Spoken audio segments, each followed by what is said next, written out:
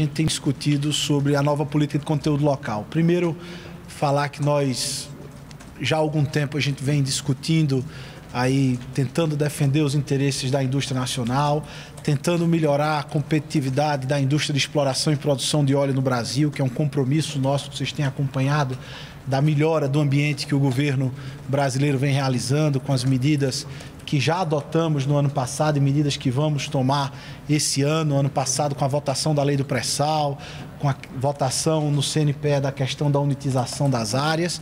E as últimas duas pautas nós avançamos hoje com o fechamento da questão de conteúdo da política de conteúdo local, de conteúdo nacional, que vem para uns novos índices, novos patamares, no entendimento de que com esses novos números que foi chegado em comum consenso aqui, não tem vitoriosos nem vencidos, foi uma proposta construída a quatro mãos, entre MIDIC, MME, Fazenda e Casa Civil e Planejamento, de podermos, é, de fato, chegar a esses novos números que eu vou relatar aqui para vocês. Mas, independente dos percentuais, e a Fazenda vai ter oportunidade de falar, a MIDIC também vai ter oportunidade de falar, de que há um consenso de que com números e percentuais mais realistas, a gente vai ter, de fato, a oportunidade de dar um novo dinamismo aí à indústria de contratação é, nacional, a números, como eu falei, reais, aonde a gente foge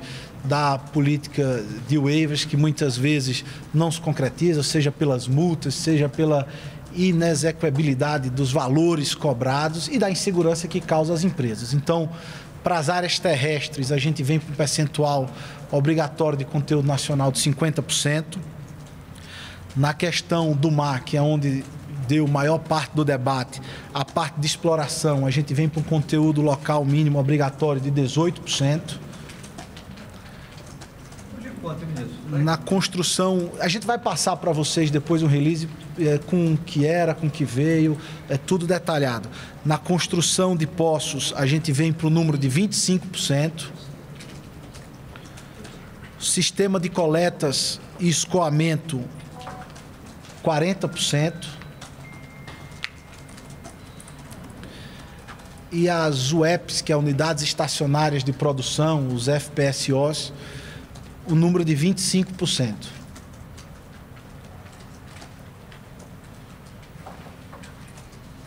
Tem, tem, tem, tem, tem, com essa redução do número na média aí, depois a gente detalha, é, Valdo, para vocês, mas é uma redução de aproximadamente quase que 50% dos números.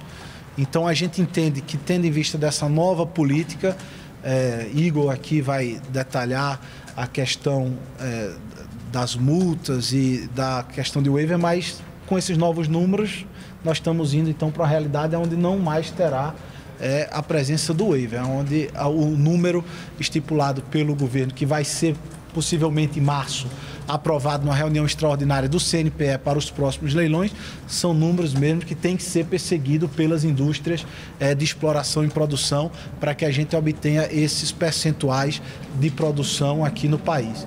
É, no nosso entendimento, é, evidentemente que sempre tem pessoas que querem mais e pensam diferentes, a gente respeita, mas é um número importante, é, tendo em vista a qualidade dos ativos que o Brasil vai colocar em leilão nesse ano de 2017, de que vai de fato dar um outro ânimo à indústria de óleo, gás e offshore naval é, no Brasil. Só vai para as rodadas deste ano? Não, é uma política agora é, do governo. Evidentemente que política. Só, só varia para a 14? Não, vai valer é uma, já nova política. Não, na verdade, veja só, a rodada de maio, que é a rodada terrestre, não tem conteúdo local porque já é um percentual bastante alto. A rodada de junho, que é a segunda rodada, ficou decidido pelo CNPE de que vai se seguir o política de conteúdo local da rodada da época do campo adjacente que foi lá atrás. Então, isso aqui vai valer esse ano para a rodada de setembro, que é a 14 rodada, e para a terceira rodada do pré-sal, que está prevista para acontecer em novembro. E, evidentemente, daí em diante, a ideia é que se siga com essa, com essa política. É março, junho e novembro. Março, junho, setembro e novembro. São quatro rodadas.